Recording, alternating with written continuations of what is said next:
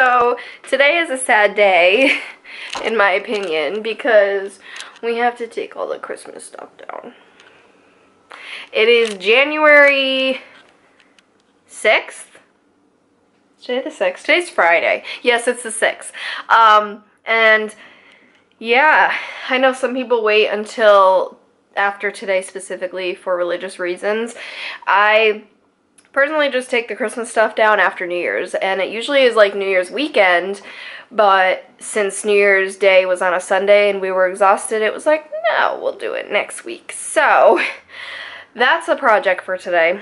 I have a lot of different errands and things to do today. I went to the gym and I actually bought uh, two 30 gallon containers from Ocean State Job Lot because apparently they had a really good sale where they were $9 each. And basically, I am overhauling how we store the Christmas stuff. When I lived with my parents, I reused boxes all the time. That's kind of just what we did. And I brought them all here, and since moving, not only have we accumulated a little bit more, or like I've gotten rid of different decorations, And so now like the whole storage system's off, um, but also, I, I don't really like how I have several smaller boxes and it's kind of a pain in the butt. So I got these two giant containers and I'm like, okay, let's just stuff everything in here. And I don't even know if I'll need both, but I got two just in case. Um, if we don't need it for this, I'm sure we can find another use for it, so it's good either way. But I'm really excited to be continuing to like slowly but surely make this home my own like I did with under the bathroom vanity I showed you last week. And then uh like using the containers for storage versus old boxes which old boxes work but I feel like to an extent. Like I feel like now that I just have a solid container everything can just go in there and it makes it easier. It's like, here's your Christmas box instead of here's like 10 small Christmas boxes. So I'm pretty excited about that. It's also going to make storage in the basement a little better because it's kind of a nightmare down there right now. And I can't go down until it gets warmer to organize it because it's in the garage technically, so it's freezing.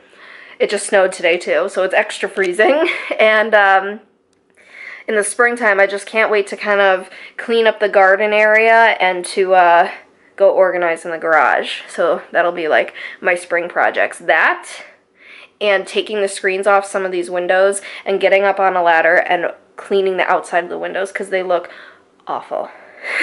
but we didn't have a ladder when we moved here and now since Shadell got a ladder for Christmas, I'm to do that or make him do that.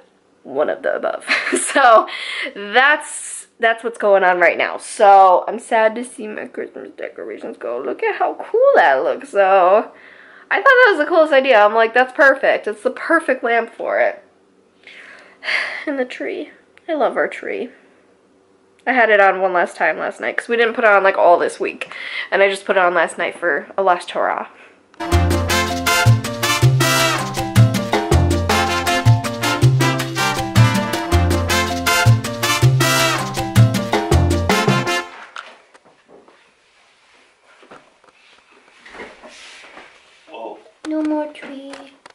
Yay!